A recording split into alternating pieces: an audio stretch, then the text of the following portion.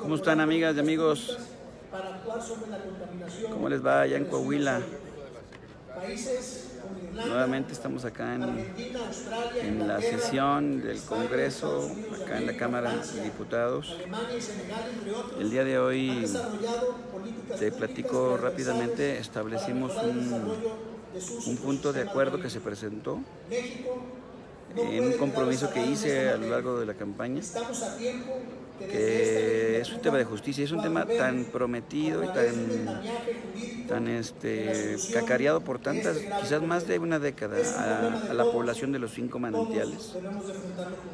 Eh, tenemos quizás más de 15 años, quizás 20 años, que se le ha prometido a los cinco manantiales que se pueda incluir en los beneficios de la franja fronteriza y que pueda estar dentro de incentivos muy particulares que tiene la frontera y que servirían mucho para la activación económica de esta región.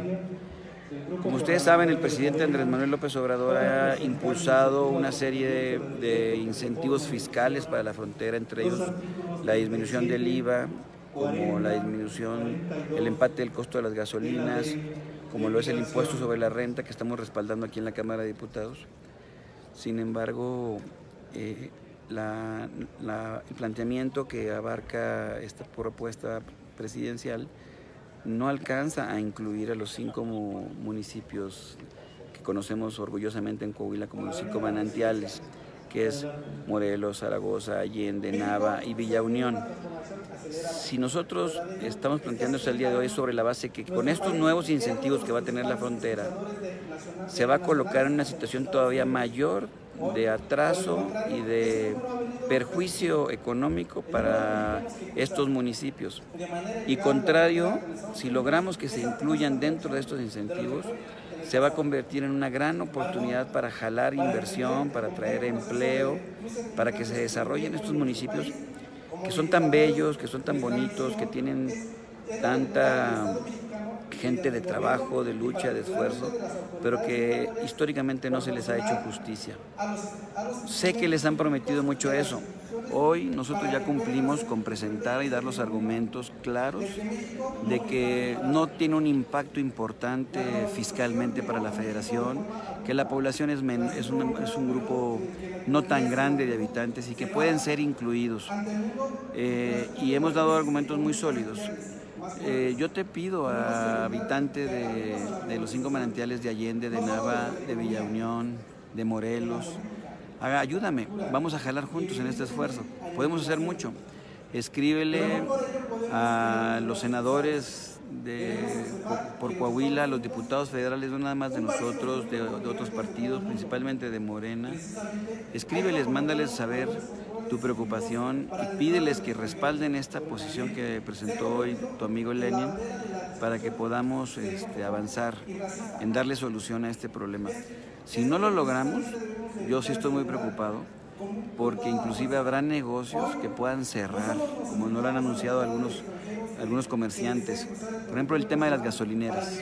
Hay algunas gasolineras que casi, casi colindan con Piedras Negras o con Acuña pues lo que va a suceder es que la gente se va a trasladar a las gasolineras que se encuentran en la frontera y no van a querer consumir las gasolineras que se encuentran al interior. Entonces, en ese sentido, este, a mí me parece un tema importante y, sé y me queda claro que los han engañado por muchos años. Yo no quiero dejar este tema como un tema que impulse en la tribuna y que ahí se muera. No, a partir de que se, de que se presentó el punto de acuerdo, inicia la batalla, inicia el cabildeo, inicia mi lucha con el resto de las fracciones y en la comisión correspondiente para que podamos convencer que hasta el día de hoy, te soy honesto, las declaraciones que se han hecho es que no quieren incluir a estos cinco municipios. Entonces, en ese sentido, vamos uniéndonos todos. Todos estos diputados tienen Twitter, todos estos diputados tienen Facebook, tienen redes sociales, mándeles una carta, eh, llama a los medios de comunicación, pídeles que nos respalden para que podamos hacer realidad esto. Estoy completamente convencido que si lo logramos, esto va a representar una gran oportunidad de desarrollo económico para estos cinco municipios y que se convierta en una zona integral de desarrollo, de generación de empleo, donde llegue finalmente la industria a estos municipios Y en ese sentido mi compromiso fue claro. Yo te pido tu respaldo.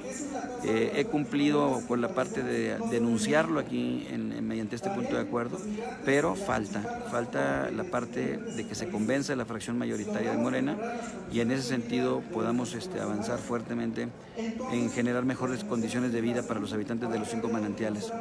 Entonces, pues te mando un saludo, te mando un abrazo, seguimos jalando juntos por allá, nos vemos el día de mañana ya en Coahuila y pues les mando un saludo a todos los que nos han estado escribiendo. Aquí por aquí vi a mi madre hace ratito, mi jefita chula, hermosa, que la quiero y la adoro. La extraño muchísimo a mi madre. Pero bueno, jefa, estamos cumpliendo acá con una responsabilidad. Así me enseñaste, así me enseñó mi papá.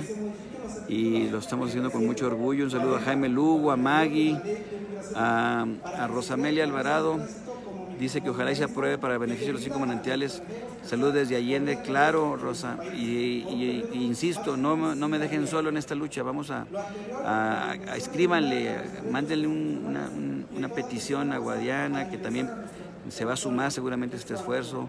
Mándaselos a los diputados de Morena por Coahuila y a los diputados de todo el país. Eh, saludos Jaime, saludos Mari Lozano, a mi jefa, desde luego, que me sigue diciendo su niño. Este, Pilar, ¿cómo te va Pilar?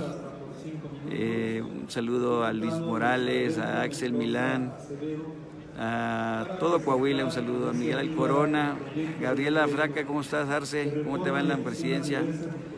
Qué bueno que están allá todos jalando y avanzando fuerte. Aquí está mi compadre Marco, mira, Marco Aguilar. Saludos a todos. Es mi, asesor y mi, mi, mi vudú ya en las redes sociales. ¿eh? Entonces, bueno, pues te mando un saludo a todos. Este, nos vemos por allá mañana. El día de hoy me siento muy contento con este punto de acuerdo que hemos presentado, pero insisto, no quiero ser reiterativo, es importante que a partir de que ya nosotros hemos cumplido con esta parte, empieza la batalla. Tenemos que lograrlo. Vamos haciendo inclusive un movimiento que pueda ser inclusive de toda la presión social que se puede ejercer, porque tiene que hacérsele justicia a los cinco manantiales. No podemos dejar pasar esta situación. Puede convertirse en una verdadera catástrofe para la región de estos cinco municipios y también puede, contrario, convertirse en la gran oportunidad histórica para estos cinco municipios. Entonces, tengo un compromiso claro con los gobiernos municipales de los cinco manantiales, pero sobre todo con la población, que necesita tener empleo, necesita tener instalaciones de salud, de educación, de desarrollo y por ahí este, me voy a partir el alma por cumplir este compromiso. Les mando un fuerte abrazo a todos, nos vemos pronto por allá. Que estén muy bien. Saludos Daniel.